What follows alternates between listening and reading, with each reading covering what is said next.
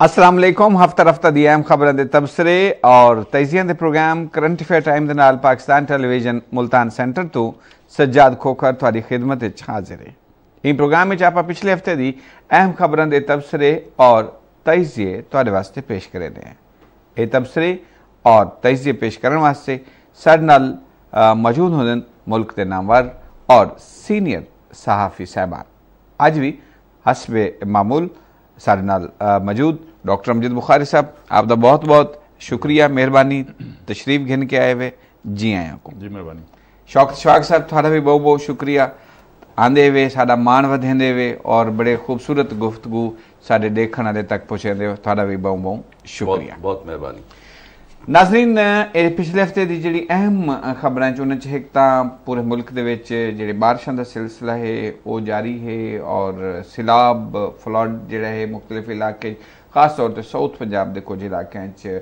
ਰੋਦਕੋਹੀਆਂ ਦਾ ਸਿਲਾਬ ਔਰ ਫਿਰ ਬਾਰਿਸ਼ਾਂ ਦਾ ਪਾਣੀ ਔਰ ਉੱਥੋਂ ਮੁਸ਼ਕਲਾਂ ਔਰ ਮਸਾਇਲ ਕਿਆ ਹਨ। ਇਹਦੇ ਉੱਤੇ ਅੱਜ ਆਪਾਂ ਗੱਲ ਮਹਾਲ ਕਰੇ ਸੂ। ਚੌਧਰੀ ਪਰਵੇਜ਼ ਇਲਾਹੀ ਵਜ਼ੀਰ ਆਲਾ ਪੰਜਾਬ ਬਣ ਚੁੱਕੇ ਹਨ। ਉਹ ਹਵਾਲੇ ਨਾਲ ਵੀ ਗੱਲ ਮੁਹਾਰਤੀ ਸੀ ਅੱਜ ਦੇ ਪ੍ਰੋਗਰਾਮ ਵਿੱਚ। ਔਰ ਪੀਟੀਆਈ ਦਾ ਮਮਨੂਆ ਫੰਡਿੰਗ ਕੇਸ ਜਿਹੜਾ ਹੈ ਉਹਦੇ ਉੱਤੇ ਸ਼ੋਰ ਸ਼ਰਾਬੇ ਦੀ ਜਿਹੜੀ ਸੂਰਤ ਹਾਲ ਹੈ, ਉਹਦੇ ਉੱਤੇ ਗੱਲ ਮੁਹਾਰਤੀ ਸੀ। ਔਰ ਨਾਲ ਜੁਡੀਸ਼ੀਅਲ ਕਮਿਸ਼ਨ ਇਜਲਾਸ ਦਾ ਜਿਹੜਾ ਤਨਾਜ਼ ਹੈ, ਉਹਦੇ ਉੱਤੇ ਵੀ ਆਪਾਂ ਅੱਜ ਦੇ ਪ੍ਰੋਗਰਾਮ ਵਿੱਚ ਗੱਲ ਮੁਹਾਰ ਕਰੀશું ਬੁਖਾਰੀ ਸਾਹਿਬ, ਸਭ ਤੋਂ ਪਹਿਲੇ ਗੱਲ ਕਰ ਗਏ ਬਾਰਿਸ਼ਾਂ ਦੀ ਸੂਰਤ ਹਾਲ ਵਿੱਚ ਇੱਕ ਨਵਾਂ ਸਪੈਲ ਜਿਹੜਾ ਹੈ, ਬਾਰਿਸ਼ਾਂ ਦਾ ਉਹ ਸ਼ੁਰੂ ਹੋ ਚੁੱਕਿਆ ਹੈ ਮੁਲਕ ਭਰ ਵਿੱਚ ਔਰ ਅਗਰ ਆਪਾਂ ਵਸੇਬ ਕੋ ਫੋਕਸ ਕਰਨੇ ਤਾਂ ਇਵੇਂ ਲੈ ਡੇਰਾ ਗਾਜ਼ੀ ਖਾਨ ਦੇ ਮੁxtਲਿਫ ਇਲਾਕੇ ਜਿਹੜੇ ਹਨ ਉਹ ਸਿਲਾਬ ਦੀ ਜ਼ਿਆਦੇ ਛਨ ਰੋਦਗੋਹੀਆਂ ਦਾ ਪਾਣੀ ਵੀ ਔਰ ਬਾਰਿਸ਼ਾਂ ਦਾ ਪਾਣੀ ਵੀ ਕਿਆ ਸੂਰਤ ਹਾਲ ਹੈ ਓਵਰਆਲ ਜੀ ਬਹੁਤ ਸ਼ੁਕਰੀਆ ਜੁਲਾਈ ਗੁਜ਼ਰੇ ਜੁਲਾਈ ਵਿੱਚ ਜਿਹੜੀ ਬਾਰਿਸ਼ਾਂ ਥੈਨ ਉਹ ਤਕਰੀਬਨ 300% ਜ਼ਿਆਦਾ ਹਨ ਸਾਡੀ ਸਿਰਫ ਮਲਤਾਨ ਦੀ 270% ਜ਼ਿਆਦਾ ਬਾਰਿਸ਼ ਥਈ ਹੈ ਜਿਹੜੀ ਮਾਮੂਲ ਦੀ ਬਾਰਿਸ਼ਾਂ ਹੋਣਨ ਜੁਲਾਈ ਦੇ ਮਹੀਨੇ 'ਚ ਇਹ ਦਫਾ 270% ਜ਼ਿਆਦਾ ਆਈ। ਇਹਦਾ ਮਤਲਬ ਹੈ ਕਿ ਬਾਰਿਸ਼ਾਂ ਬਹੁਤ ਜ਼ਿਆਦਾ ਸੀ ਨੇ ਪੈਨ ਜੁਲਾਈ ਅਗਸਤ ਸਪਟੈਂਬਰ ਤੱਕ ਅਸਾਂ ਇੱਕ ਮੌਨਸੂਨ ਦਾ ਸੀਜ਼ਨ ਸ਼ੁਮਾਰ ਕਰਨੇ ਜਿਹੜੇ ਬਾਰਿਸ਼ਾਂ ਥੇ ਇਹਦਾ ਮਤਲਬ ਹੈ ਕਿ ਹਾਲੀ 2 ਮਹੀਨੇ ਡੇਢ ਮਹੀਨਾ ਦਾ ਕਮ ਸ ਕਮ ਮੌਜੂਦ ਹੈ ਜਿਹਦੇ ਬਾਰਿਸ਼ਾਂ ਦਾ ਇਮਕਾਨ ਥੀ ਸਕਦੀ। ਬਾਰਿਸ਼ਾਂ ਮਾਮੂਲ ਕੋਲ ਜ਼ਿਆਦਾ ਹਨ ਅੱਗੂ ਵੀ ਥੀ ਸਕਦੇ ਹੁਣ ਇਹਦੇ ਅਸਰਾਤ ਕਿਆ ਥਿੰਦੇ ਪੈਨ ਸਾਡੇ ਕੋਲ ਥੋੜਾ ਜਿਹਾ ਅਰਸਾ ਪਹਿਲੇ ਪਿੱਛੇ ਚਲੇ ਵਜੋਂ ਤੇ ਪਾਣੀ ਦੀ ਸ਼ਦੀਦ ਕਮੀ ਆਈ। ਬਿਲਕੁਲ ਹੀ ਪਰੇਸ਼ਾਨ ਆਸੇ ਕਿ ਜੀ ਪਾਣੀ ਕਹੇ ਨਹੀਂ। ਹੁਣ ਪਾਣੀ ਦੋਹਾਂ ਸੂਰਤਾਂ ਦਸਤਿਆਬ ਹੈ। ਉਤੋਂ ਵੀ ਵਰਸਤਾ ਪਏ ਅੱਲਾਹ ਤਾਲਾ ਦੀ ਰਹਿਮਤ ਦੀ ਸੂਰਤ ਔਰ ਤੱਲੇ ਸਾਗੜੀ ਜਿਹੜੀ ਕੈਫੀਅਤ ਹੈ ਉਹ ਵੀ ਸੈਲਾਬੀ ਥੀ ਗਈ ਹੈ। ਹੁਣ ਬਾਰਿਸ਼ਾਂ ਮਜ਼ੀਦ ਵੀ ਥੀ ਸਨ।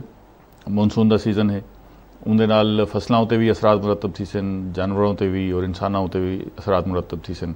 ਜਿਹੜੇ ਵੇਲੇ ਤੱਲੇ ਪਾਣੀ ਹੋਵੇ ਵਲ ਉਤੋਂ ਅਗਰ ਬਾਰਿਸ਼ ਵਸੇ ਤੇ ਜਿਹੜੇ ਕੱਚੇ ਘਰ ਨੇ ਉਹ ਢਹਿ ਪਾਉਣੇ ਉਹ ਨਹੀਂ ਰੁਕਦੇ।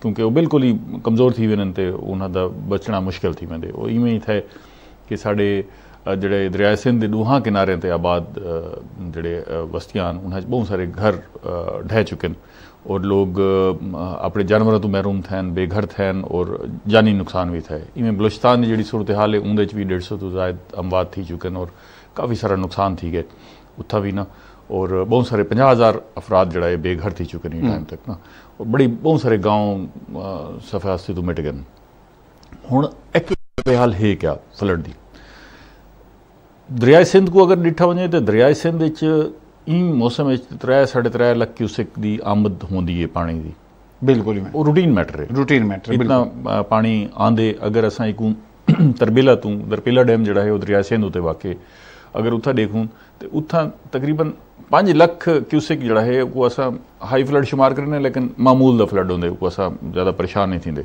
ਹੂੰ।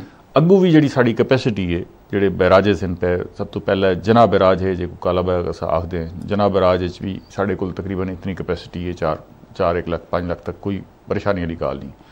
ਉਹਦੇ ਬਾਅਦ ਜਿਹੜਾ ਹੈ ਚਸ਼ਮਾ ਬੈਰਾਜ ਹੈ ਉੱਥਾ ਵੀ ਅਸਾਂ 5 ਲੱਖ ਕਿਊਸੈਕ ਕੋ ਜਿਹੜਾ ਹੈ ਉਹ ਪਰਵਾਹ ਨਹੀਂ ਕਰਾਂਦੇ। ਬਿਲਕੁਲ ਉਹਦੇ ਬਾਅਦ ਤੋਂਸਾ ਹੈ ਕੋਟਰੀ ਹੈ ਗੁੱਦੂ ਹੈ ਸਖਰ ਇਹ ਤਾਂ ਸਾਰਿਆਂ ਦੀ ਇਹ ਹਾਈ ਫਲੱਡ ਜਿਹੜਾ ਹੈ ਤਕਰੀਬਨ 7 ਲੱਖ ਕਿਊਸੈਕ ਹੁੰਦੇ। High flood 7 lakh cusec mean ਕਿ ਅਸਾਂ 7 ਲੱਖ ਕਿਊਸੈਕ ਉਥੋਂ ਗੁਜ਼ਰਵਾ ਗਏ ਗੁਜ਼ਰਵਾ ਗਏ ਬਿਲਕੁਲ। ਠੀਕ ਹੈ ਨਾ ਜੀ?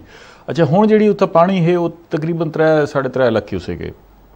ਬਿਲਕੁਲ ਠੀਕ। ਇਹ ਵੀ ਮੈਂ ਤਾਂ ਕੋ ਤਰਬੇਲਾ ਦੀ ਦੱਸਣਾ ਪਿਆ। ਅੱਗੂ ਜਿਹੜਾ ਹੈ ਘਟ ਵੀ ਥੀ ਵੰਦੇ 2.5 ਲੱਖ 3 ਲੱਖ ਦੇ ਲਗਭਗ ਆ ਵੰਦੇ। ਇਹ ਉਹ ਪਾਣੀ ਹੈ ਜਿਹੜਾ ਸਾਕੂ ਮਹਿਫੂਜ਼ ਕਰਨਾ ਚਾਹੀਦਾ ਹੈ। ਲੇਕਿਨ ਉਹ ਸਾਡੇ ਇੱਥਾਂ ਪੂਰੇ ਖਿੱਤੇ 'ਚ ਤਬਾਹੀ ਫੈਲਦਾ ਪਿਆ। ਬਜਾਏ ਇਹਦੇ ਕਿ ਅਸਾਂ ਕੋ ਮਹਿਫੂਜ਼ ਕਰੂੰਗਾ, ਅਸਾਂ ਸਾਡੇ ਕੋਲ ਅਗਰ ਜ਼ਖਾਇਰ ਹੋਵੇ ਨਾ, ਹੁਣ ਇਹ ਫਲੱਡ ਜਿਹੜੀ ਸਿਚੁਏਸ਼ਨ ਖਰਾਬ ਥੀ ਪਈ ਹੈ ਉਹਦੀ ਵਜ੍ਹਾ ਕੀ ਹੈ? ਇੱਕ ਤਾਂ ਉਹ ਦਰਿਆਏ ਸਿੰਧ ਜਿਹੜਾ ਪਾਣੀ ਆਂਦਾ ਪਿਆ, ਤਰਬੇਲਾ ਤੋਂ 3 ਲੱਖ ਕਿਊਸਿਕ ਦਾ ਅਖਰਾਜ ਹੈ, ਸਵਾ 3 ਲੱਖ ਕਿਊਸਿਕ ਦਾ, ਉਹ ਆਂਦਾ ਪਿਆ। ਦੂਜਾ ਜ਼ਿਆਦਾ ਜਿਹੜਾ ਖਰਾਬੀ ਥਈ ਹੈ ਉਹ ਸਾਡੇ ਕੋਲ ਇੱਕ ਦਰਿਆਏ ਕਾਬਲ ਜਿਹੜਾ ਹੈ, ਉਹ ਆਂਦੇ ਇਨ ਪਾਸੋਂ ਨਾ, ਅਫਗਾਨਿਸਤਾਨ ਵਾਲੇ ਪਾਸੋਂ ਐਂਟਰ ਥਿੰਦੇ ਵੱਲ ਪਾਕਿਸਤਾਨ ਦੇ ਅੰਦਰ ਜਿਹੜਾ ਹੈ, ਉਹ ਕਾਫੀ ਸਾਰੇ ਏਰੀਆ ਚ ਵਾਂਦੇ ਉਹ ਦਰਿਆਏ ਕਾਬਲ ਵਿੱਚ ਜਿਹੜਾ ਹੈ ਉਹ ਸਵਾ lakh cusec high high flood ਥੀ ਵੰਦੇ।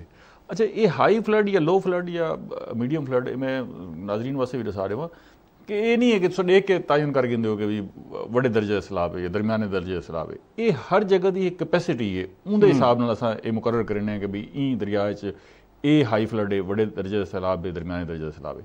ਉੱਥਾ ਸਵਾ ਲੱਖ ਕਿਊਸਿਕ ਦਰਿਆਏ ਕਾਬਲ ਵਿੱਚ ਉਹ ਵੱਡੇ ਦਰਜੇ ਦਾ ਸਲਾਬ ਥੀ ਵੰਦੇ। ਹੁਣ ਉਹ ਜਿਹੜਾ ਪਾਣੀ ਆਂਦੇ ਕਾਬਲ ਦਾ ਉਹ ਸਿੰਧ 'ਚ ਆ ਕੇ ਸ਼ਾਮਿਲ ਥੀਦੇ ਉਹ ਉਹਦੇ ਬਾਅਦ ਸਾਡੇ ਕੋਲ ਕੋਈ ਬਰਾਜ ਕਹਿ ਨਹੀਂ। ਹੂੰ। ਦਰਿਆਏ ਕਾਬਲ ਦਾ ਸਾਰਾ ਪਾਣੀ ਅਸਾ ਜਿਹੜਾ ਹੈ ਉਹ ਸਮੁੰਦਰ ਵਿੱਚ ਛੱਡੇ ਨੇ। ਉਹ ਦਰਿਆਏ ਕਾਬਲ ਦਾ ਪਾਣੀ ਆ ਕੇ ਜਿਹੜੇ ਵੇਲੇ ਦਰਿਆ ਸਿੰਧ ਸ਼ਾਮਿਲ ਥਿੰਦੇ ਤੇ ਦਰਿਆ ਸਿੰਧ ਦਾ ਆਪਣਾ ਪਾਣੀ ਵੀ ਥੀਵੇਂਦੇ ਉਹ ਦਰਿਆਏ ਕਾਬਲ ਦਾ ਵੀ ਪਾਣੀ ਥੀਵੇਂਦੇ ਹੂੰ ਨਾਲ ਬਾਰਿਸ਼ਾਂ ਅਲੱਗ ਥੀ ਗਈਆਂ ਬਾਰਿਸ਼ਾਂ ਅਲੱਗ ਥੀ ਗਈਆਂ ਇਹ ਵਾਸਤੇ ਉਹ ਵੱਲ ਹਾਈ ਫਲੱਡ ਬਦਲ ਵੰਦੇ। ਅੱਛਾ ਇੱਕ ਤਾਂ ਇਹ ਦਰਿਆ ਸਿੰਧ ਦੇ ਬੈਲਟਾਂ ਦੀ ਤਬਾਹੀ ਹੈ। ਦੂਜਾ ਇਹ ਹੈ ਕਿ ਜਿਹੜੀ ਰੋਦ ਕੋਈ ਬਾਰਿਸ਼ਾਂ ਥੈਨ ਬਹੁਤ ਜ਼ਿਆਦਾ ਸਾਡੇ ਇਥਾਂ ਕੋਈ ਸਲਮਾਨ ਦਾ ਏਰੀਆ ਹੈ ਜਿਹੜਾ ਸਾਰਾ ਰੋਦ ਕੋਈ ਅੰਦਰ ਥਿੰਦੇ ਔਰ ਬਲੂਚਿਸਤਾਨ ਤੱਕ ਵੰਦਾ ਪਿਆ ਸਾਰਾ ਇਲਾਕਾ ਐਸਾ ਹੈ ਰੋਦ ਕੋਈਆਂ ਇਵੇਂ ਸਮਝ ਗਿਨੋ ਬਰਸਾਤੀ ਨਾਲੇ ਬਰਸਾਤੀ ਔਰ ਨਾਲੇ ਕੱਚੀ ਕਨਾਲ ਹੈ ਡੇਰਾ ਗਾਜ਼ੀ ਖਾਨ ਉਹ ਸਾਰਾ ਪਾਣੀ ਜਿਹੜਾ ਹੈ ਉਹ ਆਂਦੇ ਔਰ ਤੇਜ਼ ਬਾਰਿਸ਼ਾਂ ਥੀਨਨ ਔਰ ਬੜੀ ਸਪੀਡ ਨਾਲ ਪਾਣੀ ਆਂਦੇ ਉਹਦੇ ਰਸਤੇ ਜਿਹੜੀ ਵੀ ਸ਼ੈ ਆਵੇ ਉਹ ਵਹਾ ਕੇ ਗਿਨਵੇਂ ਦੇ। ਭਾਵੇਂ ਕੋਈ ਵਹੀਕਲ ਹੈ ਭਾਵੇਂ ਕੋਈ ਆਬਾਦੀ ਹੈ ਜਿਹੜੀ ਹੈ ਉਹ ਹੁੰਦਾ ਇਵੇਂ ਚੰਦ ਘੰਟਿਆਂ ਦਾ ਸੈਲਾਬ ਹੈ। ਲੇਕਿਨ ਉਹ ਜੋ ਵੀ ਰਸਤੇ ਚ ਤਬਾਈ ਜ਼ਿਆਦਾ ਮਚੀ ਹੈ ਉਹਦੇ ਨਾਲ ਤਬਾਈ ਬਹੁਤ ਜ਼ਿਆਦਾ ਮਚੀ ਹੈ ਬਲੂਚਿਸਤਾਨ ਚ ਇਹੋ ਸੂਰਤ-ਹਾਲ ਥਈ ਬਾਰਿਸ਼ਾਂ ਦੇ ਨਾਲ ਜਿਹੜੀ ਫਲੱਡਿੰਗ ਥਈ ਹੈ ਉਥਾ ਕੋਈ ਪ੍ਰੋਪਰ ਇਹ ਵੱਡੇ ਦਰਿਆ ਨਹੀਂ ਹਨ ਲੇਕਿਨ ਇਹ ਬਾਰਿਸ਼ਾਂ ਦੇ ਨਾਲ ਜਿਹੜੀ ਤਬਾਈ ਥਈ ਹੈ ਉਹ ਸਲਾਬੀ ਸੂਰਤ ਅਖਤਿਆਰ ਕਰ ਗਈ ਹੈ ਤੇ ਉਹਨਾਂ ਨਾਲ ਇਹ ਸਾਰਾ ਨੁਕਸਾਨ ਹੈ ਹੁਣ ਥੋੜਾ ਜਿਹਾ ਚਨਾਬ ਦੀ ਵੀ ਗੱਲ ਕਰਕੇ ਨੂੰ ਜਿਹੜੇ ਸਾਡੇ ਇਹ ਖਿੱਤੇ ਦੇ ਚਨਾਬ ਰਾਵੀ ਔਰ ਸਤਲੁਜ ਚਨਾਬ ਦੀ ਜਿਹੜੀ ਸੂਰਤ ਹਾਲ ਹੈ ਕਿ ਉਹ 2 ਲੱਖ ਕਿਊਸਿਕ ਪਾਣੀ ਜਿਹੜਾ ਹੈ ਉਹਨੇ ਛੋੜੇ ਭਾਰਤ ਨੇ ਪਹਿਲੇ। ਹੁਣ ਇਤਲਾਹ ਹੈ ਕਿ 3 ਲੱਖ ਕਿਊਸਿਕ ਵੀ ਆ ਵੀ ਆਉਂਦਾ ਪਿਆ।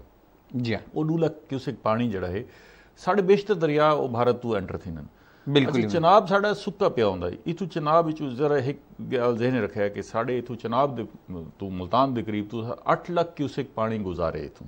ਬਿਲਕੁਲ ਗੁਜ਼ਰੇ ਲਾਸਟ ਟਾਈਮ 8 ਲੱਖ ਕਿਊਸਿਕ ਪਾਣੀ ਗੁਜ਼ਰੇ। ਹੁਣ 2 ਲੱਖ ਕਿਊਸਿਕ ਪਾਣੀ ਆਏ ਜਿਹੜਾ ਪਹਿਲੇ ਮਰਾਲਾ ਪਹੁੰਚੀ ਖਾਨਕੀ ਆਸੀ ਕਾਦਰਾਬਾਦ ਆਸੀ ਵੱਲ ਤਰੀਮੂ ਤੇ ਆਸੀ ਵੱਲ ਪੰਜ ਤੱਕ ਪਹੁੰਚੀ। ਅੱਛਾ ਜਿਹੜਾ 2 ਲੱਖ ਕਿਊਸਿਕ ਆਂਦੇ ਉਹ ਘਟਦੇ ਘਟਦੇ ਜਿਹੜਾ ਹੈ ਉਹ ਤਕਰੀਬਨ 1 ਲੱਖ ਕਿਊਸਿਕ ਤੇ ਆਉਂਦੇ। ਉਹ ਮਰਾਲਾ ਤੱਕ ਸ਼ਾਇਦ 2 ਲੱਖ ਹੋਵੇ ਖਾਨਕੀ ਕਾਦਰਾਬਾਦ ਔਰ ਵੱਲ ਸਾਡੇ ਇਲਾਕੇ ਤੱਕ ਆਂਦੇ 1 ਲੱਖ ਕਿਊਸਿਕ ਰਹਿ ਵੰਦੇ ਔਰ ਇਵੇਂ ਹੀ ਥੈ। ਬਿਲਕੁਲ ਇਵੇਂ। ਲੇਕਿਨ ਤੁਸੀਂ ਇਹ ਦੇਖੋ ਕਿ 1 ਲੱਖ ਕਿਊਸਿਕ ਨਾਲ ਵੀ ਸਾਡੇ ਇੱਥੇ ਤਬਾਹੀ ਥੀ ਗਈ ਉਹਦੀ ਵਜ੍ਹਾ ਕੀ ਹੈ ਉਹਦੀ ਵਜ੍ਹਾ ਇਹ ਹੈ ਕਿ ਬਈ ਦਰਿਆ 'ਚ ਤਾਂ ਪਾਣੀ ਆਉਣੇ ਇੰਦੇ ਤਾਂ ਇਹ 5 ਲੱਖ ਕਿਊਸੈਕ ਵੀ ਆ ਸਕਦੇ 6 ਲੱਖ ਕਿਊਸੈਕ ਵੀ ਆ ਸਕਦੇ। ਪਾਣੀ ਆਉਣੇ ਪਾਣੀ ਨਹੀਂ ਹੈ ਤਾਂ ਅਸਾਂ ਪਾਣੀ ਕੋ ਤਰਸਦੇ ਪਏ ਹੁਣ ਅਸਾਂ ਜਿਹੜਾ ਦਰਿਆਈ ਜ਼ਮੀਨਾਂ ਦੇ ਉੱਤੇ ਕਬਜ਼ੇ ਕਰਕੇ ਬੈਠੇ ਆ ਨਾ ਘਰ ਬਣਾ ਕੇ ਬੈਠੇ ਆ ਦਰਿਆਈ। 4 ਸਾਲ ਦਰਿਆ 4 ਸਾਲ ਦਰਿਆ 'ਚ ਪਾਣੀ ਨਹੀਂ ਆਂਦਾ ਤੇ ਅਸਾਂ ਉਥਾਂ ਹੀ ਆਬਾਦ ਥੀ ਵੇ ਨੇ। ਬਸਤੀਆਂ ਬਣ ਵੰਦੀਆਂ ਬਸਤੀਆਂ ਬਣ ਵੇ ਨੇ ਅਸਾਂ ਜ਼ਮੀਨਾਂ ਕੋਈ ਆਬਾਦ ਬਿਲਕੁਲ ਸ਼ੌਕਤ ਸ਼ਵਾਕ ਸਾਹਿਬ ਇਹ ਫਲੱਡਿੰਗ ਇਹ ਹਰ ਸਾਲ, ਇਸ ਸੀਜ਼ਨ ਵਿੱਚ, ਇਸ ਮੌਸਮ ਵਿੱਚ ਆਉਂਦਾ ਇਹ ਦਫਾ ਥੋੜਾ ਜਿਹਾ ਡਿਫਰੈਂਟ ਮਾਮਲਾ ਹੈ। ਕਿਆ ਇੱਕ ਇੰਦੀ ਬਿਹਤਰੀ ਵਾਸਤੇ ਜਾਂ ਸਿਸਟਮ ਨੂੰ ਬਿਹਤਰ ਕਰਨ ਵਾਸਤੇ ਹਕੂਮਤੀ ਸਤਹ ਤੇ ਜਿਹੜੇ ਇਕਦਾਮਾਤ ਕੀਤੇ ਹੋਏ ਨੇ, ਉਹ ਠੋਸ ਔਰ ਮਜ਼ਬੂਤ ਨਹੀਂ ਹੁੰਦੇ।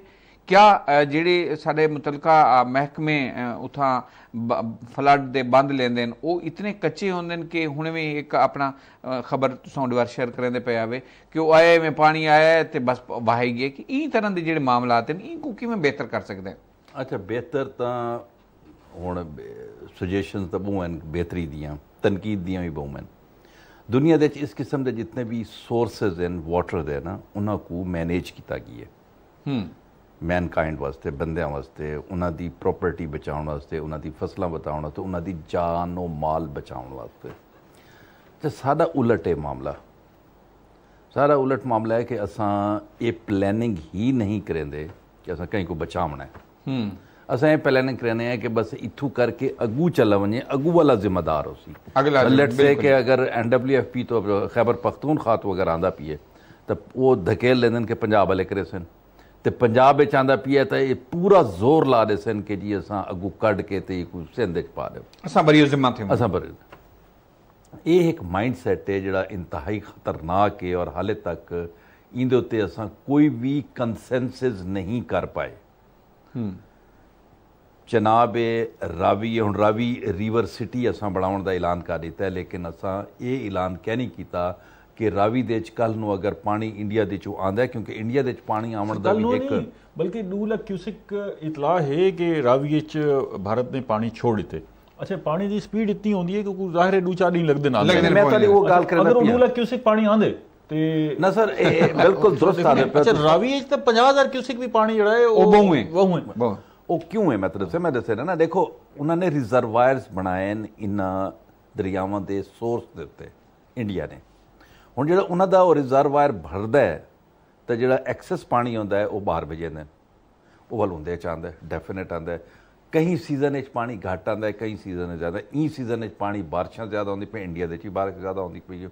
ਗਲੋਬਲ ਵਾਰਮਿੰਗ ਹੈ ਵੈਦਰ ਚੇਂਜਸ ਇਨ ਉਹ ਹਿਸਾਬ ਨਾਲ ਹੀ ਪਾਣੀ ਜ਼ਿਆਦਾ ਆਉਂਦਾ ਪਿਆ ਤੇ ਉਹਨਾਂ ਨੇ ਕਿਆ ਮਤਲਬ ਸਾਡੇ ਜਿੱਥਾਂ ਪਲੈਨਿੰਗ ਦੇ ਜਿਹੜੇ ਲੋਕ ਬੈਠੇ ਨੇ ਇੰਜੀਨੀਅਰਸ ਬੈਠੇ ਨੇ, ਤੁਹਾਡੇ ਬਹਿ ਬੈਠੇ ਉਹਨਾਂ ਨੂੰ ਕਹਿਣਾ ਹੀ ਪਤਾ ਕਿ ਹੋਣਾ ਹੈ। ਹੂੰ ਤੁਸੀਂ ਉਹ ਤਾਂ ਪਲਾਨ ਕਰਿੰਦੇ ਪਿਓ ਜਾਂਦੇ, ਤਾਂ ਕੋ ਬਹੁਤ ਜ਼ਿਆਦਾ ਮਾਲ ਦੀ ਜਿਹੜੀ ਹੈ ਨਾ ਉਹ ਹੈ ਲੇਕਿਨ ਤੁਸੀਂ ਇਹ ਕਿਉਂ ਨਹੀਂ ਪਲਾਨ ਕਰਦੇ ਪਏ ਕਿ ਉਹ ਦਰਿਆ ਕੋ ਤੁਸੀਂ ਆਪਣੇ ਉਹਦੇ ਵਿੱਚ ਵਿਦ ਮੀਨਸ ਕਿਵੇਂ ਘਿਨ ਕੇ ਆਉਣਾ ਕਿ ਅਗਰ 2 ਲੱਖ ਵੀ ਅਗਰ ਪਾਣੀ ਆਵੇ ਤਾਂ ਨਿਕਲ ਵਣੇ ਸਰ, ਦੁਨੀਆ ਦੇਖੋ ਨਾ, ਤੁਸੀਂ ਪੂਰਾ, ਮੈਂ ਕਹਿੰਦਾ ਨਾ ਇਸ ਵਾਸਤੇ ਨਹੀਂ ਕਹਿੰਦਾ ਕਿ ਅਸਾਂ ਮੁxtਲਫ ਹੈ, ਸਭ ਕੋ ਆਪਣੇ ਆਪ ਨੂੰ ਕੰਪੇਅਰ ਹੀ ਨਹੀਂ ਕਰਨਾ ਚਾਹੀਦਾ ਕਿ ਦੁਨੀਆ 'ਚ ਕਈ ਐਸਾ ਜਗ੍ਹਾ ਕਿ ਇੱਕ ਦਰਿਆ ਜਿਹੜਾ 5 5 6 6 ਮੁਲਕਾਂ ਦੇ ਚੋਂ ਲੱਗਦਾ ਹੈ।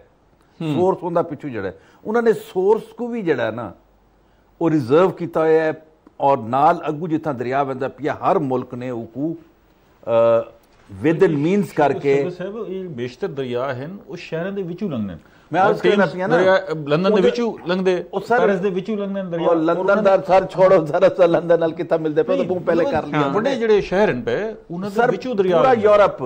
ਮੈਂ ਯੂਰਪ ਪੂਰੀ ਦੀ ਗੱਲ ਕਰਨਾ ਪਿਆ ਤੁਹਾਡਾ ਯੂਰਪ ਨੂੰ ਛੋੜ ਤੁਹਾਡਾ ਫੋਰ ਈਸਟ ਹੂੰ ਫੋਰ ਈਸਟ ਤੇ ਕਈ ਮੁਲਕ ਐਸੇ ਛੇ ਮੁਲਕਾਂ ਦੇ ਚੋਂ ਇੱਕ ਦਰਿਆ ਹੈ ਔਰ ਉਹ ਦਰਿਆ ਦੇ ਚ ਉਹਨਾਂ ਨੇ ਜਨਾਬ ਬਕਾਇਦਾ ਟਰਾਂਸਪੋਰਟੇਸ਼ਨ ਹੁੰਦੀ ਹੈ ਉਹਨਾਂ ਦੀ ਬਕਾਇਦਾ ਐਕਸਕਰਸ਼ਨ ਹੁੰਦਾ ਹੈ ਪੂਰੀ ਦੁਨੀਆ ਦੇ ਸਿਆਉਂਦੇ ਸਾਡੇ ਕੋਲ ਹੈ ਪਾਣੀ ਹੈ ਆਂਦਾ ਹੈ ਸਾਰਾ ਕੁਝ ਹੈ ਦਰਿਆ ਦੀ ਜਗ੍ਹਾ ਵੀ ਹੈ ਮਾਮਲਾਤ ਪਲੈਨਿੰਗ ਦੀ ਕਮੀ ਹੈ ਪਲੈਨਿੰਗ ਨਹੀਂ ਸਰ ਹੂੰ ਸਾਡੇ ਕੋਲ ਕਮੀ ਕਿਹੜੀ ਸ਼ੈ ਦੀ ਨੀਅਤ ਦੀ ਹੈ ਪਲੈਨਿੰਗ ਤਾਂ ਹੁੰਦੀ ਹੈ ਕਿ ਅਸਾਂ ਇਹ ਕਰਨਾ ਹੈ ਪਲੈਨਿੰਗ ਤਾਂ ਇਹ ਵੀ ਹੈ ਕਿ ਦਰਿਆ ਦਾ ਹੁਣ ਪਿਛਲੇ ਦੀਆਂ ਦੇ ਵਿੱਚ ਨਾ ਪੂਰਾ ਸਾਲ ਇੱਕ ਉਥਾਂ ਕੈਂਪੇਨ ਚਲਾਉਂਦੇ ਰਹਿਣ, ਦੂਤਰੇ ਇਲਾਕਿਆਂ ਦੀ, ਮੁਜ਼ੱਫਰਗੜ੍ਹ ਦੇ ਇਲਾਕਾ ਹੈ ਤੇ ਥੋੜਾ ਜਿਹਾ ਸਿੰਧ ਦਾ ਉਹਦਾ ਇਲਾਕਾ ਹੈ ਕਿ ਉਥਾਂ ਇੰਡਸ ਨੇ ਤੇ ਸਿੰਧ ਨੇ ਓਰੀਅਨ ਕੀਤੀ ਹੈ ਔਰ ਕਟਾਓ ਹੈ।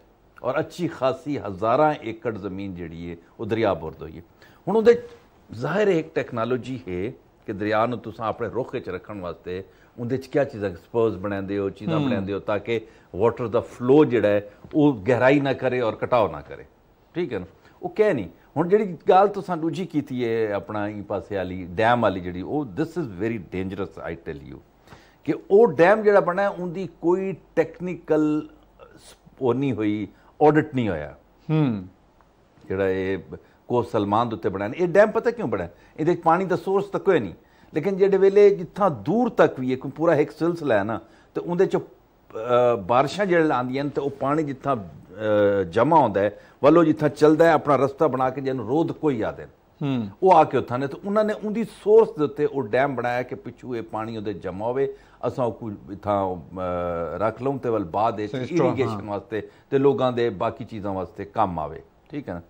ਹੁਣ ਉਹ ਡੈਮ ਹੁਣ ਹਾਲੇ ਤੱਕ ਮਤਲਬ ਗਵਰਨਮੈਂਟ ਤਾਂ ਜ਼ਾਹਿਰ ਹੈ ਕੋਈ ਸਿਆਸੀ ਤੌਰ ਤੇ ਇਤਨਾ ਮੁਸਤਕਮ ਕਹਿ ਨਹੀਂ ਪੰਜਾਬ ਵੀ ਕਹਿ ਨਹੀਂ ਵਫਾਕ ਵੀ ਕਹਿ ਨਹੀਂ ਕਈ ਬੰਦੇ ਨੇ ਇਹ ਨਹੀਂ ਆਖਾ ਹਾਲੇ ਤੱਕ ਕਿ ਭਾਈ ਇਹ ਡੈਮ ਦੀ ਟੁੱਟਣ ਦੀ ਰੀਜ਼ਨ ਕੀ ਹੈ ਕਿਆ ਓਵਰਫਲੋ ਹੋਇਆ ਕਿਆ ਮਤਲਬ ਪਾਣੀ ਦਾ ਰੇਲਾ ਇਤਨਾ ਤੇਜ਼ ਆਇਆ ਜਾਂ ਉਹ ਇਹਦਾ ਕੋਈ ਡਿਜ਼ਾਈਨ ਗਲਤ ਹੈ ਬਿਲਕੁਲ ਚਵਾਗੀ ਸਿਮਿਲਰਲੀ ਬਲੋਚਿਸਤਾਨ ਦੇ ਵਿੱਚ ਆਇਆ ਹੂੰ ਸਿਮਿਲਰ ਕਿ ਰੋਦਕਾਈ ਤੋਂ ਤਾਂ ਚਲਦੀ ਹੈ ਹਰ ਸ਼ੇ ਚਲਦੀ ਹੈ ਤਾਂ ਕੋਈ ਐਸਾ ਗੱਲ ਕਿ ਠੀਕ ਹੈ ਮਾਮੂਲ ਤੋਂ ਜ਼ਿਆਦਾ ਬਾਰਿਸ਼ਾਂ ਹੋਈਆਂ ਨੇ ਇਹਦੇ ਕੋਈ ਸ਼ੱਕ ਨਹੀਂ ਲੇਕਿਨ ਇਹ ਕੋਈ ਅੱਜ ਤਾਂ ਨਹੀਂ ਹੁੰਦੀ ਪਈਆਂ ਨਾ ਅਸਾਂ 10 15 20 ਸਾਲ ਤੋਂ ਪੁੱਛੋ ਬੁਖਾਰੀ ਸਾਹਿਬ ਦੇ ਕੋਲ ਅਸਾਂ ਚੀਖਦੇ ਪਏ ਗਲੋਬਲ ਵਾਰਮਿੰਗ ਗਲੋਬਲ ਸਿਰਫ ਗਲੋਬਲ ਵਾਰਮਿੰਗ ਤੇ ਗਲੋਬਲ ਕਰਨਾ ਔਰ ਪਲੈਨਿੰਗ ਦੇ ਨਾਲ ਕਰਨਾ ਇਹ ਤਾਂ ਬਿਲਕੁਲ ਬਲੂਚਿਸਤਾਨ ਵਿੱਚ 7 ਡੈਮ ਤਕਰੀਬਨ ਤਬਾਹ ਥੀ ਗਏ ਓਏ ਜੀ ਅਸਲ ਇਹ ਢੂੰਡਣਾ ਚਾਹੀਦਾ ਕਿਉਂ ਹੋਏ ਬਾਰਿਸ਼ਾਂ ਦੀ ਜਿਹੜੀ ਸ਼ਿੱਦਤ ਹੈ ਨਾ ਜੀ ਉਹ ਵੀ ਬਹੁਤ ਜ਼ਿਆਦਾ ਹੈ ਔਰ ਇਹ ਗੱਲ ਸ਼ੁਕਰ ਸਾਹਿਬ ਦੀ ਸਹੀ ਹੈ ਕਿ ਜਦ ਤੱਕ ਅਸਾਂ ਮੈਂ ਤਾਂ ਉਹ ਗੱਲ ਅਸਾਂ ਇਹ ਆਮ ਸਾਡੇ ਜਿਹੜੇ ਨਾਜ਼ਰੀਨ ਉਹਨਾਂ ਦੇ ਸਮਝਣ ਵਾਸਤੇ ਵੀ ਹੈ ਕਿ ਅਸ ਜਿਹੜੇ ਇਹ ਡੈਮਸ ਹਨ ਨਾ ਇਹ ਬਹੁਤ ਛੋਟੇ ਛੋਟੇ ਡੈਮਸ ਹਨ ਚਸ਼ਮਾ ਦੀ ਜਿਹੜੀ ਝੀਲ ਹੈ ਤੁਸੀਂ ਅਗਰ ਕੜੀ ਇਤਫਾਕ ਥੀ ਤੇ ਬੜੀ ਬੜੀ ਝੀਲ ਹੈ ਬਹੁਤ ਬੜੀ ਝੀਲ ਹੈ। ਲੇਕਿਨ ਉਹ ਇਤਨੀ ਬੜੀ ਝੀਲ ਹੈ ਸਾਰੀ ਹੁਣ ਇਹ ਟਾਈਮ ਉਹ ਫੁੱਲ ਹੈ। ਸਾਡੇ ਕੋਲ ਜਿਹੜੀ ਅਸਾਂ ਉੱਥਾ ਸਟੋਰੇਜ ਕੀਤੀ ਹੈ 10000 ਏਕੜ ਫੁੱਟ ਪਾਣੀ ਸਟੋਰੇਜ ਕੀਤਾ ਹੈ ਲੇਕਿਨ ਜਿਹੜੀ ਸਾਡੇ ਕੋਲ ਤਰਬੇਲਾ ਔਰ ਮੰਗਲਾ ਦੀ ਜਿਹੜੀ ਸਟੋਰੇਜ ਹੈ ਉਹ ਤਕਰੀਬਨ 50 ਲੱਖ ਏਕੜ ਬਿਲਕੁਲ ਠੀਕ ਇਥੋਂ ਅੰਦਾਜ਼ਾ ਕਰੀਏ ਅੱਗੂ ਚੱਲਦੇ ਹਾਂ ਡਾਕਟਰ ਸਾਹਿਬ ਡਾਕਟਰ ਸਾਹਿਬ ਚੱਲਦੇ हैं शौकत शवाक साहब चौधरी परवेज इलाई साहब वजीर आला मुंतखब थी गए जिम्मेदारियां उन्होंने संभाल गई हलफ चवी गए शौकत शवाक साहब क्या ਇਹ ਹੁਣ ਕੋਈ ਨਜ਼ਰ ਆਂਦਾ ਵੀ ਹੈ ਕਿ ਪੰਜਾਬ ਵਿੱਚ ਹਕੂਮਤ ਸਟੇਬਲ ਹੁੰਦੀ ਪਈ ਹੈ ਜਾਂ ਅਜਨ ਵੀ ਕੋਈ ਖਦਸ਼ਾਤ ਮੌਜੂਦ ਹਨ देखो, गाल है कि अगर तुम माजी को चाह के देखो तो खदशात हमेशा रहते सियासत पाकिस्तानी क्या पूरी दुनिया की सियासत मामला चलते रहते हैं क्योंकि जितना डेमोक्रेसी होती उतना कुछ ना कुछ होंदा रही हुई फिक्स कहना उसी मामला। लेकिन मेरे हिसाब से है कि अगर इस वे जो हालात हैं सारे मुआशी उन हालात के इन्हों को वल चाहिए मैं दोबारा रिपीटडली आदा पियाँ कि भावें ऑपोजिशन है, भावें इतिहाद है, भावें गवर्नमेंट है ਭਾਵੇਂ ਗਵਰਨਮੈਂਟ ਚ ਇਹਨਾਂ ਕੋ ਹੁਣ ਕਮ ਅਸ ਕਮ ਇਸ ਵੇਲੇ ਇੱਕ ਟੇਬਲ ਦੇ ਉੱਤੇ ਬਣਾਉਣਾ ਪੇਜ ਦੇ ਉੱਤੇ ਤਾਂ ਮਾਫੀ ਜਾਣੇ ਆ ਹੀ ਨਹੀਂ ਸਕਦੇ ਇੱਕ ਟੇਬਲ ਦੇ ਉੱਤੇ ਤਾਂ ਬਹਿ ਵਜਣ ਕਿ ਉਹਦੇ ਉੱਤੇ ਕਰਨ ਕਿ ਠੀਕ ਹੈ ਪੰਜਾਬ ਗਵਰਨਮੈਂਟ ਵੀ ਚੱਲੇ ਕੋਈ ਕਹਿ ਨਹੀਂ ਅਗਰ ਦਾ ਵੋਟ ਉਹਨਾਂ ਦੇ ਜ਼ਿਆਦਾ ਉਹਨਾਂ ਨੂੰ ਰਾਈਟ ਹੈ ਅਗਰ ਕੋਈ ਇੱਕ ਵੋਟ ਵੀ ਜ਼ਿਆਦਾ ਹੈ ਉਹ ਕੋ ਰਾਈਟ ਹੈ ਕਿ ਉਹ ਬਹਿ ਕੇ ਆਪਣੀ ਹਕੂਮਤ ਕਰੇ ਖੈਬਰ ਪਖਤੂਨਖਵਾ ਦੇ ਵਿੱਚ ਵੀ ਕਰਨ ਸਿੰਧ ਵਿੱਚ ਵੀ ਕਰਨ ਉਹਦੇ ਵਿੱਚ ਕਰਨ ਲੇਕਿਨ ਕਮ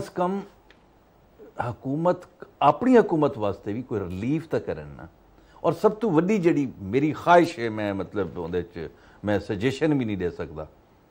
ਮੇਰੀ ਖਾਹਿਸ਼ ਹੈ ਕਿ ਇਸ ਵਕਤ ਇਹਨਾਂ ਨੂੰ ਜਿਹੜਾ ਐਜ ਮਿਲਿਆ ਹੈ ਤਹਿਰੀਕ ਇਨਸਾਫ ਨੂੰ ਔਰ ਨਾਲ ਮੁਸਲਿਮ ਲੀਗ ਕਾਫ ਕੋਰ ਪ੍ਰਵੇਜ਼ ਇਲਾਈ ਸਾਹਿਬ ਜਿਹੜੇ ਉਹ ਬਣਨ ਚੀਫ ਮਿਨਿਸਟਰ ਤੇ ਇਹਨਾਂ ਕੋ ਹੁਣ ਉਹ ਜਿਹੜੀ ਪੋਲੀਟੀਕਲ ਬਲੈਕਮੇਲਿੰਗ ਹੈ ਉਹਦੇ ਚ ਨਹੀਂ ਆਉਣਾ ਚਾਹੀਦਾ। ਮੁਖਤਸਰ ਕਾਬੀਨਾ ਰੱਖਣੀ ਚਾਹੀਦੀ ਹੈ ਔਰ ਉਸ ਮੁਖਤਸਰ ਕਾਬੀਨਾ ਦੇ ਨਾਲ ਇਹਨਾਂ ਕੋ ਡਿਲੀਵਰ ਕਰਨਾ ਚਾਹੀਦਾ ਹੈ। ਨਾ ਕਿ ਇਹ ਆਪਣੇ ਬੰਦੇ ਐਸੇ ਰੱਖ ਕੇ ਪਹਿਲਵਾਨ ਜਿਹੜੇ ਨੇ ਉਹ ਉਤਾਰਨ ਤੇ ਇੱਕ ਦੂਜੇ ਦੇ ਉੱਤੇ ਲਫ਼ਜ਼ੀ ਜੰਗਾਂ ਦੇ ਨਾਲ ਲਫ਼ਜ਼ੀ ਜੰਗ ਜਿਹੜੀ ਹੈ ਉਹ ਸ਼ੁਰੂ ਕਰਕੇ ਤੇ ਮਜ਼ੀਦ ਦੇਖੋ ਇੱਕ ਮੈਂ ਤੁਹਾਨੂੰ ਗੱਲ ਦੱਸਾਂ ਲਫ਼ਜ਼ੀ ਜੰਗ ਜਿਹੜੀ ਹੈ ਅਸ ਹੁਣ ਆਂਦੇ ਪੈਸੇ ਤਾਂ ਵੀ ਇਹ ਗੱਲ ਕੀਤੀ ਕਿ ਜੇ ਤੁਸੀਂ ਸਟੇਟਮੈਂਟ ਕਈ ਚੀਜ਼ ਦੇ ਬਾਰੇ ਚ ਲੈਂਦੇ ਹੋ ਮੀਨਸ ਤੁਸੀਂ ਗਵਰਨਮੈਂਟ ਦੇ ਬੰਦੇ ਹੋ। ਇਹ ਅਗਰ ਤੁਸੀਂ ਐਕਸ ਪ੍ਰਾਈਮ ਮਿਨਿਸਟਰ ਹੋ ਐਕਸ ਮਿਨਿਸਟਰ ਹੋ ਇਵਨ ਠੀਕ ਹੈ ਨਾ? ਔਰ ਫਾਈਨਾਂਸ ਦਾ ਵੱਲ ਤੁਸੀਂ ਵਲ ਦਾਖਲਾ ਦਾ ਜਿਹੜੀ ਤੁਸੀਂ ਗੱਲ ਕਰੇ ਸੋ ਅੱਜ ਤੁਹਾਡੀ ਆਵਾਮ ਸ਼ਾਇਦ ਤੁਹਾਡੇ ਉੱਤੇ ਨਾ ਯਕੀਨ ਕਰੇ ਦੁਨੀਆ ਤਾਂ ਯਕੀਨ ਕਰੇ ਸੀ ਕਿ ਤੁਹਾਡਾ ਮਿਨਿਸਟਰ ਜਿਹੜਾ ਐਕਸ ਮਿਨਿਸਟਰ ਜਿਹੜਾ ਨੇ ਇਹ ਬਿਆਨ ਦਿੰਦਾ ਪਈ ਉਹਦੇ ਤੇ। ਔਰ ਇਹੋ ਸਾਰਾ ਸਾਰਾ ਕੰਮ ਹੁੰਦਾ ਪਈ ਹੈ ਕਿ ਬਜਾਏ ਅਸਾਂ ਆਖੂ ਕਿ ਨਹੀਂ ਸਾਰੀ ਚੀਜ਼ਾਂ ਬਿਹਤਰੀ ਵਾਸਤੇ ਅਸਾਂ ਕੋਸ਼ਿਸ਼ ਕਰਦੇ ਪਏ ਅਸਾਂ ਹੁਣ ਮਾਦਾ ਨਹੀਂ ਇਹ ਕੂੜ ਮਰੇਂਦਾ ਪਈ ਅੱਛਾ ਅਗਰ ਝੂਠ ਬੁਲੇਂਦਾ ਪਈ ਹੈ ਤਾਂ ਕਮ ਸ ਕਮ ਤੁਸੀਂ ਪਬਲਿਕਲੀ ਇੰਟਰਨੈਸ਼ਨਲ ਪ੍ਰੈਸ ਵਿੱਚ ਤਾਂ ਨਾ ਆਖੋ ਪਾਕਿਸਤਾਨੀ ਪ੍ਰੈਸ ਵਿੱਚ ਤਾਂ ਨਾ ਆਖੋ ਨਾ। ਤੁਸੀਂ ਕਈ ਟੇਬਲ ਦੇ ਉੱਤੇ ਬਹਿ ਕੇ ਗੱਲ ਕਰੋ ਕਿ ਵੀ ਤੁਸੀਂ ਮਾਮਲਾ ਦਰਸਤ ਕਹਿ ਨਹੀਂ ਕਰਿੰਦੇ ਪਏ? ਆਓ ਅਸਾਂ ਬਹਿ ਕੇ ਇੰਦਾ ਕੋਈ ਕੋਈ ਇੱਕ ਜਿਹੜਾ ਨਾ ਵਿੰਡੋ ਲੱਭੇਨੇ ਹੈ ਕੋਈ ਰਸਤਾ ਲੱਭੇਨੇ ਹੈ ਕਿ ਉਹਦੇ ਚ ਅਸਾਂ ਆਪਣੇ ਆਪ ਨੂੰ ਦਰਸਤ ਕਰੂੰ। ਕਿਉਂਕਿ ਰੀਜਨਲ ਮਾਮਲਾਤ ਹਾਲੇ ਵੀ ਮੇਰੇ ਹਿਸਾਬ ਦੇ ਵਿੱਚ ਪਾਕਿਸਤਾਨ ਦੇ ਕਈ ਪੋਲੀਟੀਸ਼ੀਅਨ ਨੂੰ ਇਦਰਾਕ ਹੀ ਕਹਿਣੀ ਕਿ ਸਾਡੇ ਕਿ ਕੀ ਕਹਿਣ ਬੁਖਾਰੀ ਸਾਹਿਬ ਤੁਹਾਨੂੰ ਕੀ ਲੱਗਦਾ ਹੈ ਕਿ ਮਾਮਲਾ ਸਟੇਬਲ ਹੋਣ ਵੰਦੇ ਪੈਣ ਦੇਖੋ ਸਿਆਸੀ ਮਾਮਲਾ ਤਾਂ ਆਪਣੀ ਜਗ੍ਹਾ ਤੇ ਹੈ ਉਹਦੇ ਚ ਤਾਂ ਇਹ ਰਿਫਟਰਾਸੀ ਜਦ ਤੱਕ ਨਵੇਂ ਇਲੈਕਸ਼ਨ ਨਹੀਂ ਥਿੰਦੇ ਨਵੀਂ ਮੈਂਡੇਟ ਨਾਲ ਜਿਹੜੀ ਵੀ ਗਵਰਨਮੈਂਟ ਆਂਦੀ ਹੈ ਉਹ ਵਾਲੇ ਤਾਈਂ ਇਹ ਅਦਮ ਇਸਤਕਾਮ ਸਿਆਸੀ ਅਦਮ ਇਸਤਕਾਮ ਰਾਸੀ ਲੇਕਿਨ ਇਹ ਟਾਈਮ ਸਿਆਸੀ ਅਦਮ ਇਸਤਕਾਮ ਤੋਂ ਇੱਕ ਵੱਡਾ ਇਸ਼ੂ ਜਿਹੜਾ ਹੈ ਉਹ ਸਾਡਾ ਮਾਸ਼ੀ ਅਦਮ ਇਸਤਕਾਮ ਹੈ ਔਰ ਇਹ ਟਾਈਮ ਬਹੁਤ ਸੁਰਤਿਆਲ ਖਰਾਬ ਹੈ ਜਿਹੜਾ ਰੁਪਏ ਉਹਦੇ ਉੱਤੇ ਦਬਾਅ ਹੈ ਮੁਸਲਸਲ ਦਬਾਅ ਹੈ ਉਹ ਇਤਨੀ ਸ਼ਦੀਦ ਮਹਿੰਗਾਈ ਦਾ ਸਬਬ ਬਣਦਾ ਪਿਆ ਔਰ ਸਾਕੂ ਕਈ ਮਾਮਲੇ 'ਚ ਅੱਗੂ ਨਹੀਂ ਵਧਣ ਦਿੰਦਾ ਪਿਆ। ਬਿਲਕੁਲ ਨਹੀਂ। ਅੱਛਾ ਇਹਦੇ ਇਹਦਾ ਵਜ੍ਹਾ ਇਹਦੀ ਵਜ੍ਹਾ ਇੱਕ ਤਾਂ ਆਈਐਮਐਫ ਕੋਲੋਂ ਜਿਹੜਾ ਇੱਕ ਮਾਇਦਾ ਹਾਈ ਉਹਦੇ ਉੱਤੇ ਅਮਲ ਦਰਾਮਦ ਫੌਰੀ ਤੌਰ ਤੇ ਨਾ ਥੀ ਹੋਣਾ ਔਰ ਪੈਸੇ ਨਾ ਮਿਲਣਾ ਇੱਕ ਇਹ ਵਜ੍ਹਾ ਹੈ। ਉਹਨੂੰ ਜੀ ਸਾਡਾ ਜਿਹੜਾ ਤਜਾਰਤੀ ਖਸਾਰਾ ਹੈ ਉਹਦੇ ਮੁਸਲਸਲ ਜਿਹੜਾ ਹੈ ਇਜ਼ਾਫਾ ਹੁੰਦਾ ਪਿਆ ਔਰ ਅਸਾਂ ਉਹਦੀ ਵਜ੍ਹਾ ਕੋਈ ਪਰੇਸ਼ਾਨੀ ਦਾ ਸ਼ਿਕਾਰ ਹੈ। ਇੰਪੋਰਟ ਬਿੱਲ ਔਰ ਐਕਸਪੋਰਟ ਬਿੱਲ ਦੇ ਜਿਹੜਾ ਤਫਾਵਤ ਹੈ ਫ਼ਰਕ ਹੈ ਉਹ ਸਾਕੂ ਮਸਾਇਲ ਦਾ ਸਬਬ ਬਣਦਾ ਪਿਆ।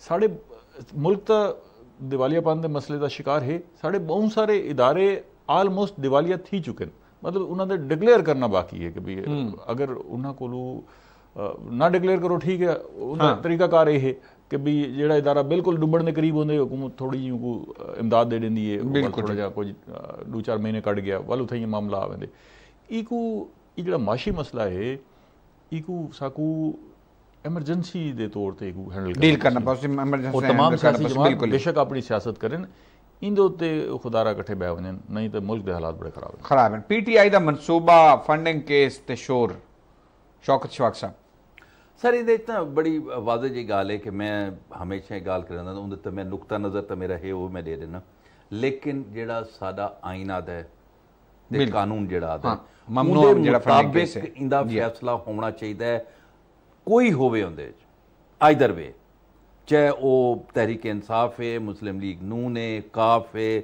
ਮੀਮ ਹੈ ਕੁਛ ਹੈ ਵੀ ਹੈ ਸਭ ਕੋ ਇਹਦੇ ਵਿੱਚ ਕੋਈ ਲੈਣਾ ਦੇਣਾ ਕਹਿ ਨਹੀਂ ਨਾ ਪੀਪਲਸ ਪਾਰਟੀ ਹੋਵੇ ਭਾਵੇਂ ਜਮੀਅਤ ਉਲਮਾ ਕੋਈ ਵੀ ਜਮਾਤ ਹੈ ਪੋਲੀਟੀਕਲ ਜਮਾਤ। ਅਗਰ ਇਸ ਮੁਲਕ ਦੀ ਪੋਲਿਟਿਕਸ ਦੇ ਵਿੱਚ ਕੋਈ ਫੋਰਨ ਫੰਡਿੰਗ ਹੁੰਦੀ ਏ ਤਾਂ ਮੈਂ ਉਹਨੂੰ ਸਮਝਦਾ ਕਿ 100% ਉਹ ਰੋਕਣਾ ਚਾਹੀਦਾ ਕਿਉਂਕਿ ਜਿਹੜੇ ਤਾਂ ਔਰ ਐਕਸ਼ਨ ਹੋਣਾ ਚਾਹੀਦਾ ਸਰ ਰੋਕਣਾ ਚਾਹੀਦਾ ਕਾਨੂੰਨ ਦੇ ਮੁਤਾਬਿਕ ਰੋਕਣਾ ਚਾਹੀਦਾ ਉਹ ਇਸ ਵਾਸਤੇ ਕਿ ਅਗਰ ਤੁਹਾਡੇ ਇਥਾਂ ਬਾਹਰ ਦੇ ਪੈਸੇ ਜਿਹੜੇ ਨੇ ਉਹ ਆ ਕੇ ਤੁਹਾਡੇ ਪੋਲੀਟੀਸ਼ੀਅਨਸ ਨੂੰ ਉਹ ਕ੍ਰੇਸਨ ਐਕਟੀਵੇਟ ਕ੍ਰੇਸਨ ਤਾਂ ਵੱਲ ਤੁਸੀਂ ਆਪਣਾ ਜਿਹੜਾ ਨਾ ਇੰਟਰਸਟ ਵਾਚ ਕਹਿਣਾ ਕਰੇ ਸੋ ਤੁਸੀਂ ਉਹਦਾ ਇੰਟਰਸਟ ਵਾਚ ਕਰੇ ਸੋ ਜਿਹੜਾ ਤੁਹਾਨੂੰ ਫੰਡ ਕਰੇਂਦਾ ਪਈਏ ਸੋ ਮੇਰਾ ਇਹਦੇ ਉੱਤੇ ਨੁਕਤਾ ਨਜ਼ਰ ਬਿਲਕੁਲ ਵਾਜ਼ਿਹ ਹੈ ਕਿ ਕੋਈ ਮਰਜ਼ੀ ਤਾਕਤਵਰ ਕਾਨੂੰਨ ਤੋਂ ਜ਼ਿਆਦਾ ਨਹੀਂ ਆਉਣਾ ਚਾਹੀਦਾ। ਕੋਈ ਮਰਜ਼ੀ ਹੋਵੇ ਕੋਈ ਇੰਸਟੀਟਿਊਸ਼ਨ ਹੋਵੇ ਕੋਈ ਆਪਣਾ ਆਪਣਾ ਫਰਦ ਵਾਹਿਦ ਹੋਵੇ ਕੋਈ ਪੋਲੀਟੀਕਲ ਪਾਰਟੀ ਹੋਵੇ। ਬਿਲਕੁਲ। ਅਮਜਦ ਬੁਖਾਰੀ ਸਾਹਿਬ ਤੁਹਾਨੂੰ ਕੀ ਲੱਗਦਾ ਹੈ? ਮਮਨੂਆ ਫੰਡਿੰਗ ਕੇਸ ਦੇ ਉੱਤੇ ਪੀਟੀਆਈ ਦਾ ਜਿਹੜਾ ਸ਼ੋਰ ਹੈ ਇਹ ਕਿਉਂ ਹੈ? ਇਹਦੀ ਕੀ ਵਜ੍ਹਾ ਹੋ ਸਕਦੀ ਹੈ? ਦੇਖੋ ਇਹ ਤਾਂ ਠੀਕ ਹੈ ਕਿ ਭਈ ਆਈਨ ਔਰ ਕਾਨੂੰਨ ਦੇ ਤਹਿਤ ਜੋ ਵੀ ਮਾਮਲਾਤ ਹਨ ਪਏ ਉਹਨਾਂ ਨੂੰ ਨਿਪਟਾਉਣਾ ਚਾਹੀਦੇ ਔਰ ਮੈਰਿਟ ਉੱਤੇ ਨਿਪਟਾਉਣਾ ਚਾਹੀਦਾ कहीं ਕੋਈ ਤਖਸੀਸ ਨਹੀਂ ਹੋਵੇ ਕਿ कि ਇਹ ये सियासी जमात को इन दे तो मुबारक करा देनू ई को ये ਇਹਦੇ ਵਿੱਚ ਸਜ਼ਾ ਦੇ ਦਿੱਤੀ ਵਜੇ ਲੇਕਿਨ ਇੱਕ ਗੱਲ ਬੜੀ ਵਾਜ਼ਿਹ ਹੈ ਇਹਦਾ ਫੈਸਲਾ ਆਉਣਾ ਚਾਹੀਦਾ। ਲੇਕਿਨ ਇਹ ਫੈਸਲੇ ਦੇ ਬੜੇ ਦੂਰਸ ਅਸਰਾਤ ਹੋ ਸਨ ਮਿਸਾਲ ਦੇ ਤੌਰ ਤੇ ਕਹੀਂ ਵੀ ਸਿਆਸੀ ਜਮਾਤ ਜਾਂ ਕਹੀਂ ਵੀ ਸਿਆਸੀ ਲੀਡਰਸ਼ਿਪ ਉਤੇ ਅਗਰ ਇਹਦੀ ਇਹਦੀ ਵਜ੍ਹਾ ਕੋਲ ਕੋਈ ਪਾਬੰਦੀ ਲੱਗਦੀ ਹੈ ਜਾਂ ਕੋਈ ਬੈ ਐਸੇ ਕਦਗਨਾ ਲਾਏ ਬਨਨ ਤੇ ਤੁਹਾਡਾ ਕੀ ਖਿਆਲ ਹੈ ਕਿ ਉਹ ਸਿਆਸੀ ਜਮਾਤ ਜਿਹੜੇ ਹੈ। ਉਹ ਖਾਮੋਸ਼ੀ ਨਾਲ ਬਹਿ ਸੀ? ਜ਼ਾਹਿਰ ਇੱਕ ਇੱਕ ਜਿਹੜੀ ਇਹ ਰਿਫਟ ਦੀ ਸਿਆਸੀ ਰਿਫਟ ਜਿਹੜੀ ਹੈ ਉਹਦੇ ਵਿੱਚ ਮਜ਼ੀਦ ਇਜ਼ਾਫਾ ਥੀ ਸੀ। ਕਿਉਂਕਿ ਇਹ ਟਾਈਮ ਇਹ ਜਿਹੜਾ ਫੈਸਲਾ ਹੈ ਉਹ ਕੋ ਕੋਈ ਵੀ ਸਿਆਸੀ ਜਮਾਤ ਜਾਂ ਇਦਾਰੇ ਕੋ ਮੈਰਿਟ ਉਤੇ ਕਹਿਣਾ ਸਮਝਦੇ ਔਰ ਬਿਲਕੁਲ। ਇਕੋ ਵੀ ਇੱਕ ਸਿਆਸੀ ਫੈਸਲਾ ਹੀ ਸਮਝਾਵੇ ਸੀ। ਇਹ ਟਾਈਮ ਇੱਕ ਸਿਆਸੀ ਜਮਾਤ ਮੁਤਾਲਬਾ ਕਰਦੀ ਵੀ ਹੈ ਕਿ ਜੀ ਫੌਰੀ ਤੌਰ ਤੇ ਪਾਬੰਦੀ ਲਾਈ ਵਣੇ ਜੀ। ਪਾਬੰਦੀ ਦੀ ਗੱਲ ਨਹੀਂ ਵੀ ਪਾਬੰਦੀ ਲਾਈ ਵਣੇ ਜੀ।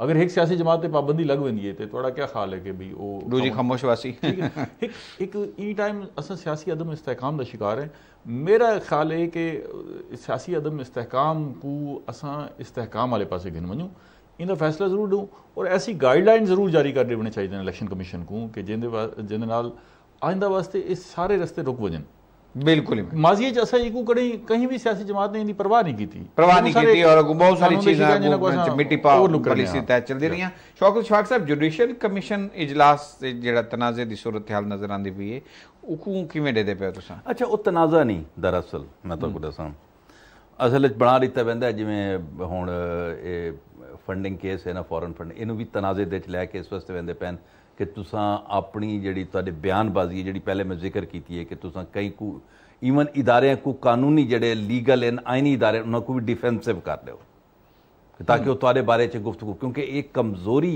ਹੈ ਕਮਜ਼ੋਰ ਕੀਤਾ ਗਿਆ, ਆਇਨ ਕੋ ਵੀ ਕਮਜ਼ੋਰ ਕਰੇਂਦੇ ਪੈਣ ਔਰ ਕਾਨੂੰਨ ਕੋ ਵੀ। ਸਿਮਿਲਰਲੀ ਸੁਪਰੀਮ ਕੋਰਟ ਦੇ ਵਿੱਚ। ये बेसिकली मैं समझदा कि ये नॉर्मल प्रैक्टिस से कि अगर तुसा दह बंदे उतां बैठन या ग्यारह हैं या बारह हैं तो तुसा उन जी राय वो मुक़दमे उतां जहिड़ी उहो ॾींदा पिया ठीक है ना? न अगर कोई राय ज़ाती तौर पर लेंदा पीए या बाइस्ड है तो वल तुसा उतां साबित करो कि फलां बंदा बाइस्ड राय देंदा पीए हम्म। ਤੇ ਬਲ ਅਗਰ ਤੁਸੀਂ ਉੱਥਾਂ ਡੈਮੋਕ੍ਰੈਟਿਕ ਵੇ ਦੇ ਵਿੱਚ ਬੈਠੇ ਹੋ ਔਰ ਉੱਥਾਂ ਇਸ ਵਾਸਤੇ ਬੈਠੇ ਹੋ ਕਿ ਇੱਕ ਕਮਿਸ਼ਨ ਬਣਾਇਆ ਔਰ ਕਮਿਸ਼ਨ ਯੂਨਾਮੀਨਸਲੀ ਫੈਸਲਾ ਕਰੇ ਸੀ ਮੁਤਫਿਕਾ ਤੌਰ ਤੇ ਕਿ ਫਲਾਂ ਬੰਦਾ ਜਿਹੜਾ ਹੈ he is eligible for judgeship ਠੀਕ ਹੈ ਨਾ? ਅੱਛਾ ਉਹਦੇ ਚੱਕਰ ਹੈ ਤਾਂ ਤੁਸੀਂ ਉਹਨੂੰ ਕਰ ਲਓ। ਜੇ ਅਗਰ ਕੋਈ ਨਹੀਂ ਮੁਤਫਿਕ ਤਾਂ ਬਲਕਿ ਇਹ ਕੋ ਪੋਲਿਟਿਸਾਈਜ਼ ਕਰਨ ਦੀ ਲੋੜ ਕੋਈ ਨਹੀਂ। ਲੋੜ ਕੋਈ ਨਹੀਂ। ਇਹ ਉਹਨਾਂ ਨੇ ਪੋਲਿਟਿਸਾਈਜ਼ ਸਿਆਸੀ ਇਸ਼ੂ ਨਹੀਂ ਬਣਾਉਣਾ ਚਾਹੀਦਾ। ਨਹੀਂ ਮੈਂ ਮੇਰੀ ਜ਼ਰਾ ਇੱਕ ਗੁਜ਼ਾਰਿਸ਼ ਜ਼ਰਾ ਡੂ ਹਰਫੀ ਸੁਣ ਲਵੇ। ਕਹਿ ਕੀਤਾ ਪੋਲਿਟਿਸਾਈਜ਼ ਕੋ ਕਿ ਜਿੰਨਾ ਕੋ ਜ਼ਰੂਰਤ ਆਈ ਕਿ ਇਹ ਫੈਸਲਾ ਗਲਤ ਆਇਆ ਜਾਂ ਸਹੀ ਆਇਆ ਤੇ ਜਿੰਨਾ ਕੋ ਉਹ ਜ਼ਰੂਰਤ ਹੈ ਕਿ ਇਹ ਸਾਰੇ ਹੱਕ ਦੇ ਫੈਸਲਾ ਸਹੀ ਨਹੀਂ ਆਇਆ ਇਹ ਲਾਸਟ ਗੱਲ। ਲੇਕਿਨ ਮੈਂ ਤਾਂ ਕੋਈ ਗੱਲ ਦੱਸਾਂ ਕਿ ਇਹ ਰਵਈਆ ਦਰਸਤ ਕੋਈ ਨਹੀਂ ਔਰ ਅਗਰ ਤੁਸੀਂ ਕੋਈ ਕਮਿਸ਼ਨ ਕਨਸਟੀਟਿਊਟ ਕਰ ਦਿੱਤਾ ਹੈ ਕਨਸਟੀਟਿਊਸ਼ਨਲ ਵੇ ਦੇ ਵਿੱਚ ਉਹਦੇ ਉਹਨੂੰ ਫੋਲੋ ਕਰਕੇ ਤੇ ਦੈਨ ਉਹਨਾਂ ਨੂੰ ਉਹਦੇ ਮੁਤਾਬਿਕ ਕਰਨ ਦੋ ਹੁਣ ਗੱਲ ਹੀ ਜਿਹੜੀਆਂ ਨਾ ਜਦ ਤੁਸੀਂ ਆਪਸ ਵਿੱਚ ਬੈਠੇ ਹੁੰਦੇ ਹੋ ਇੱਕ ਟੇਬਲ ਦੇ ਉੱਤੇ ਔਰ ਕੋਈ ਚੀਜ਼ ਡਿਸਾਈਡ ਕਰਨ ਦੇ ਬੈਠੇ ਹੁੰਦੇ ਹੋ ਤਾਂ ਉਹਦੇ ਵਿੱਚ ਕਈ ਸਾਰੀਆਂ ਸ਼ੈਵਾਂ ਐਸੀਆਂ ਹੁੰਦੀਆਂ ਜਿਹੜੀਆਂ ਕੋਟ ਕਰਨ ਦੇ ਕਾਬਿਲ ਨਹੀਂ ਹੁੰਦੀਆਂ। ਔਰ ਨਾ ਕਰਨੀਆਂ ਅਸਲ ਵਿੱਚ ਬਾਟਮ ਲਾਈਨ ਹੁੰਦੀ ਹੈ ਕਿ ਬਾਟਮ ਲਾਈਨ ਡਿਸੀਜਨ ਤੁਸੀਂ ਕੀ ਕੀਤਾ ਮੈਂ ਤਾਂ ਇੱਕ ਬਈ ਚੀਜ਼ ਵੀ ਗੁਜ਼ਾਰਿਸ਼ ਕਰੇ ਸਾਂ ਕਿ ਈਵਨ ਪ੍ਰੋਸੀਜਿੰਗ ਜਿਤਨੀ ਪ੍ਰੋਸੀਡਿੰਗਸ ਹਨ ਨਾ ਤੁਹਾਡੀਆਂ ਦੀਆਂ ਕੋਰਟਸ ਦੀਆਂ ਉਹ ਨਹੀਂ ਆਉਣੀਆਂ ਚਾਹੀਦੀਆਂ। ਕੋਰਟ ਦਾ ਡਿਸੀਜਨ ਜਿਹੜਾ ਬਾਟਮ ਲਾਈਨ ਡਿਸੀਜਨ ਹੈ ਉਹ ਆਉਣਾ ਚਾਹੀਦਾ बिल्कुल बहुत बहुत शुक्रिया शौकत शफाक साहब, बहुत मेहरबानी जनाब अमजद बुखारी साहब। तशरीफ़ घेना है और बहुत ही मुफीद तबसरे और तजिए साढ़े देखने वाले नाजरीन तक पहुँचाए। नाजरीन जश्न आज़ादी दी तकरीबात, दी तैयारी और मुख्तलिफ़ इदारे के जेर तमाम स्कूलों, कॉलेजा, यूनिवर्सिटी के जेर तमाम तकरीबात का सिलसिला भी शुरू हो चुका है पचहत्तरवां।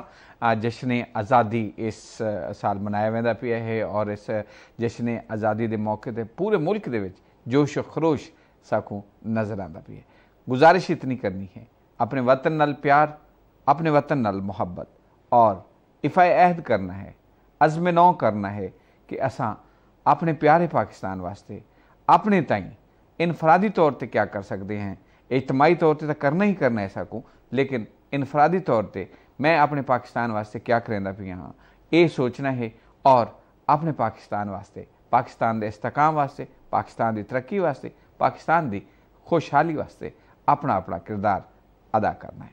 सजाद कोकर को इजाज़त रेसो अगले हफ़्ते वाला मुलाकात से अल्लाह हाफिज़। पाकिस्तान जिंदाबाद।